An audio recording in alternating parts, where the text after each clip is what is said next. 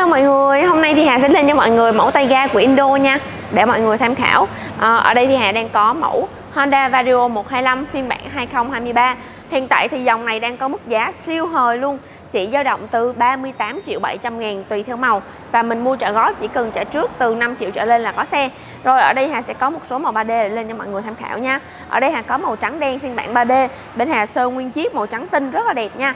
Còn màu zin của xe, phiên bản cao cấp sẽ có màu trắng nhám cho mình nha cả nhà màu zin còn đối với màu 3D thì Hà sẽ có trắng bóng cho mình để mình uh, lựa chọn thêm. Tại vì cái màu trắng nhám á, thì nhiều bạn hơi e ngại về cái vấn đề vệ sinh á. Còn đối với màu trắng bóng này mình sẽ vệ sinh nó sẽ ok hơn nè. Và nếu bạn nào thích bánh bèo hơn một chút thì bên hàng sẽ có màu hồng cho mình ha. Đối với phiên bản 2023 mà từ bản cao cấp á, thì mình sẽ có cả khóa thông minh nè có cổng sạc ở phía trước luôn nha mọi người. À, cái phiên bản tiêu chuẩn vẫn có cổng sạc luôn nha mọi người. Ví dụ bạn tiêu chuẩn á, sử dụng chìa khóa cơ không có idle stop nhưng vẫn sẽ có cổng sạc cho mình ở phía trước nè.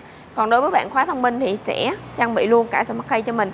Và đối với cái dòng 2023 này thì Hà thấy là cặp mâm của em nó rất là giống với Vario 150 nha mọi người. Bạn nào đang đam mê cái dòng 150 thì mình có thể tham khảo thêm nha. Tại vì giá nó tốt mà lại có nhiều tính năng hiện đại hơn rất là nhiều á. Rồi, ở đây Hà có thêm màu xám tím, iPhone này rất là đẹp. Bạn nào thích nổi hơn một xíu thì sẽ có màu cam nha mọi người còn cái màu xám xi măng này là màu Hà bán cực kỳ chạy luôn nha.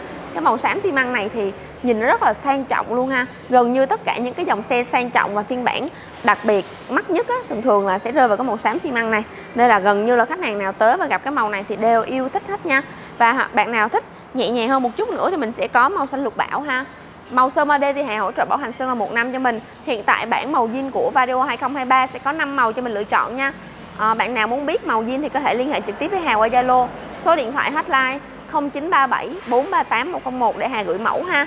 Và Hà sẽ gửi thêm nhiều cái mẫu 3D cho mình tham khảo. Với lại um, thủ tục mua góp, mọi người chuẩn bị dùm Hà là căn cước công dân nha, với đủ 18 trước khi tới, đừng quên liên hệ với Hà trước qua hotline để được giảm thêm từ 1 triệu đến 2 triệu tiền xăng xe nha mọi người.